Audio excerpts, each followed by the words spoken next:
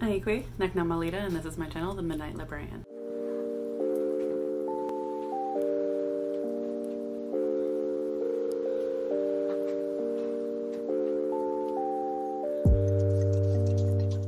Today I will be talking about my review of When the Stars Go Dark by Paula McLain. So this is a little different for me comparatively to what I've done in the past with reviews, which was to review books by Indigenous authors. I feel like Indigenous reviewers can get kind of trapped with that because that seems to be all people are looking for us to, listening to us for, and really, like, we are more than just being Indigenous. We'd like to put our voices in in many other places. I am not only Indigenous, but I am an artist. I enjoy listening to true crime. So with that, I wanted to do more reviews, so I'm to try that here. As far as I know, Paula McLain is not Indigenous from what I could see. If I'm wrong, please let me know. Otherwise, When the Stars Go Dark is a mystery thriller crime novel by Paula McLain that's scheduled to be published April 13th of 2021 by Ballantine Books. Thank you so much to Ballantine for the e-arc approval through NetGalley. So because of that, I will be posting, uh, having this picture here because I don't have a physical copy. Oh my god, my chair is so creaky. When the Stars Go Dark particularly interested me was its location. Um, it's set in Mendocino County as well as Petaluma why that interests me is because Mendocino County is actually the county just south of where I currently live, so it's a couple hours away. And it, that really intrigued me because I'm somewhat familiar with the place. Um, I actually have never lived there. Um, I do pass through it when going through San, when going to San Francisco. And honestly, it doesn't have the best reputation up here. Anything between Southern Humboldt and uh, Ukiah, I feel like, has kind of a bad reputation from what I understand. If you've heard differently, let me know. Fort Bragg itself in Mendocino tends to be a vacation spot in the summer.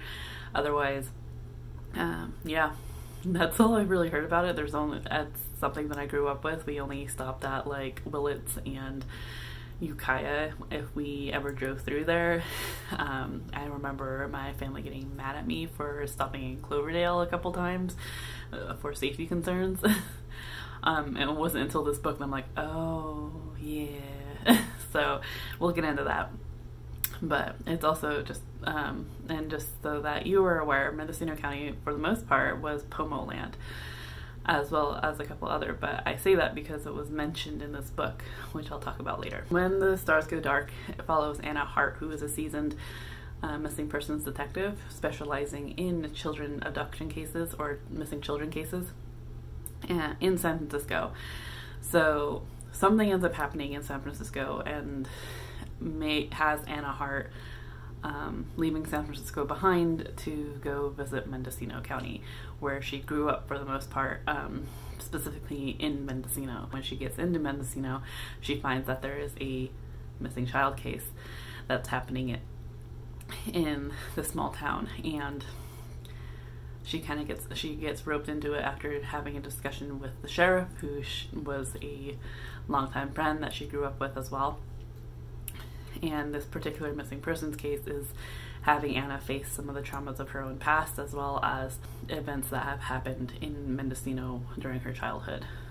So with that in mind, as well as the true crime or with the crime aspect, there are some content warnings for missing children, death of a child, murder of a minor, graphic depictions of death, injury, and decomposition, a sexual assault of a minor, PTSD, foster care system, and we are following a detective, so we are um, getting the perspective of cops.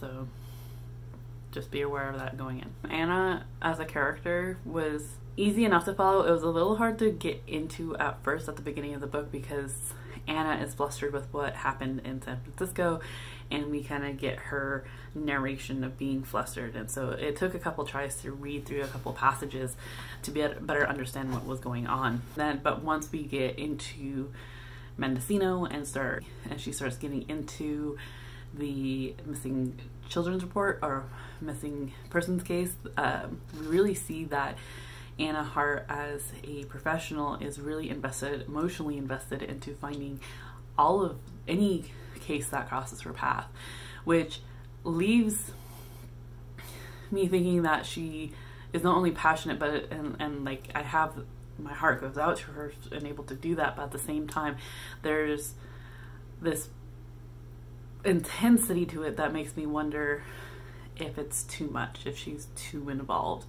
Um, and you kind of get the sense that she's a workaholic and that she gets overly invested at times to the part where like you kind of understand what start to understand what happened in San Francisco and why she had to escape. The environment of the book itself was really fun for me just because Mendocino does have a similar environment to Humboldt County and that it has a redwood forest, it has a lot of land reserve in terms of protected land or protected wilderness. Um, and ferns and weather. So, so for Paula McLain to kind of get into that, I thought was really fun in terms of I recognize it and it was fairly um, familiar to me in that in the similarities to here. So that was fun, and I felt like it was local or it was. Uh, yeah, just something that I grew up with. So it's like she talked about how Anna ran through off the beaten path um, through some a dense thicket of uh, ferns and how it was misting and it's like oh you're gonna get soaked. And of course she was like completely drenched by the end of it and it's like yeah. So just that familiarity of it was really fun. We also get this portion of anna that um, she was in the foster care system and so was Paula McLain, so that was a new dynamic that I feel like we don't see a whole lot of in books. I thought that had a complexity to Anna's character that was really vivid and like full of trauma in and of itself. Because of that, because Anna was so complex, I felt like some of the other characters weren't as fleshed out. There were some characters that were had um, not quite as a complex story as Anna, but was still enough to keep me interested. However, there were a couple other characters just outside that um, the main. So I think it was mostly Anna and her partner Will, or the the sheriff she partners up with Will, um, and maybe a character here and there that was actually like complex and interesting. However, anything outside that, the characters just fell flat to me.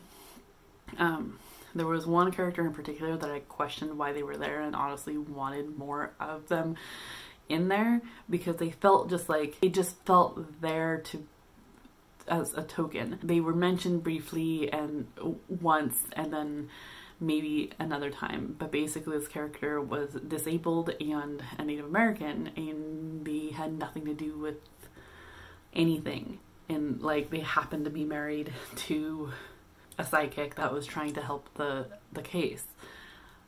Which and it was but like that seemed to be the only diversity that I could tell um, everyone else, that's one thing that I questioned was that Anna was just like, he's Native American. It's like, okay, how were you able to tell that? Because of how he looks?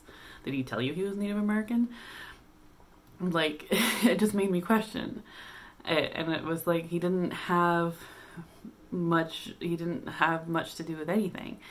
Um, so that was a bit disappointing, as well as that was briefly mentioned that um, there was a couple occasions where Anna mentions that um, her foster mother was trained by a medicine woman, a Pomo medicine woman. There was another time where she finds a, um, in particular, set up in the woods that looks like um, what the Pomo used to do in terms of housing. And then there was like, oh, the Pomo used to do this to send messages to each other and it was just this as as much like it's one of those things where I like the fact that you're recognizing that that was Pomo land. However, the way you're talking about indigenous people is in past tense. And it's like, why couldn't that Native American man have introduced himself as a Pomo descendant or something and had a bit more to do with helping Anna heal or whatever? Because it was particularly frustrating. Um, because as she talks about pomos in past tense as if they're not here anymore, Anna also happens to be having vivid dreams of Pomo ceremony and able to help her solve the case or help her healing process. And um, it just kind of, I think, further portrayed Native American mysticism. So that I had an issue with of just like, okay, we're not indigenous people aren't good enough to actually like be a part of your plot, but we're like good enough to try to help heal your main character in like a spiritual way. I don't know. It was just something that I was it was kind of icky for me, but I'm also not Pomo, so please bear that in mind. Um, indigenous people are not monolithic. We all have our own experiences, cultural practices, and stories. So, um, yeah. So I don't know. I just wish that there, it was presented in a way that honored the fact that they were on Pomo territory without making it seem like that the Pomo were no longer there. So that bugged me. One thing too that bugged me, I don't know why, but it did, was that um, Paula McLain had Anna constantly worried about grizzlies getting her in the woods.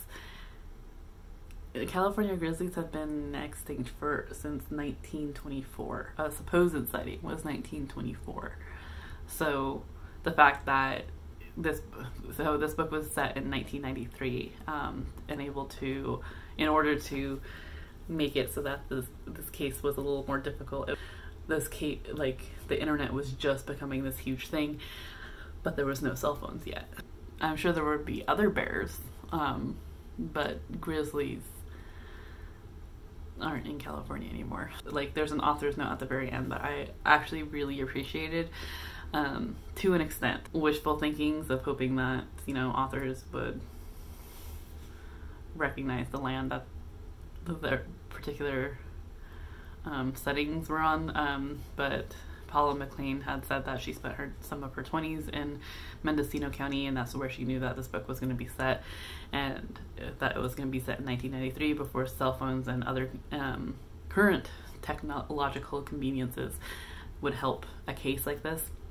but realizing that the internet could be useful in this sort of case was um, Paula McLain in, in like put in real events into this story. So during as Anna Hart is in Mendocino to find to work on this missing persons case, there's another missing persons case that happens at the same time in Petaluma, which is like an a couple hours south of Mendocino. With that case, I thought it was an interesting dynamic in terms of that case was getting more publicity because they knew the um, girl in question was abducted, while the missing persons case that they were working on in Mendocino they didn't have anything to go on off of that. She was just missing. And there was even evidence that she might have just left on her own accord, despite their suspicions that she might have been lured out. So it was that interesting dynamic of um, the like the publicity differences and how that works in terms of help having people help and having people donate and getting um, getting more help from like the FBI because this case in Petaluma ended up getting like the FBI involved and um, a lot of community involvement and it was a high profile case to the point where she even uh, Sir uh, Paula McLain had said that uh, Winona Ryder was donating her time and coming up to help the, the search because she grew up in Petaluma for a bit and actually shared the same drama teacher as the missing girl. And I was like, that's really detailed and that's really, I think, ballsy to put in that information. And it turns out this was a true case. This was the case of Polly Klaas uh, in Petaluma in 1993.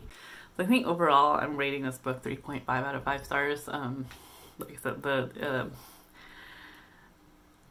it felt like a lack of diversity.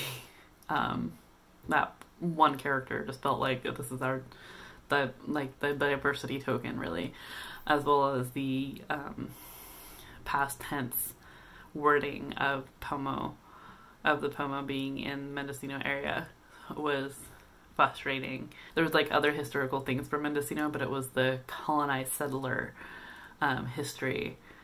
So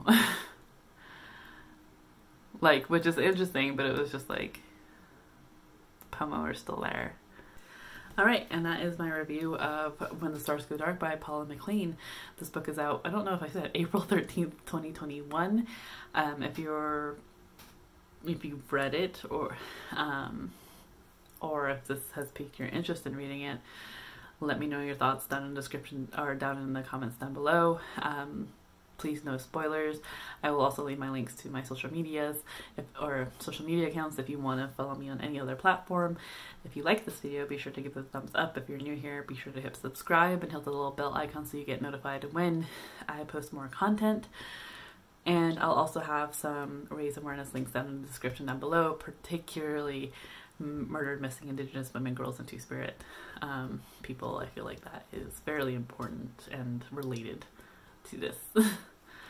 so different organizations um, linked down in the description down below for information, donation, do your research and donate and share where you can. And I will see you in my next video. I hope that you are in the mental mindset to enjoy your reading. Chew.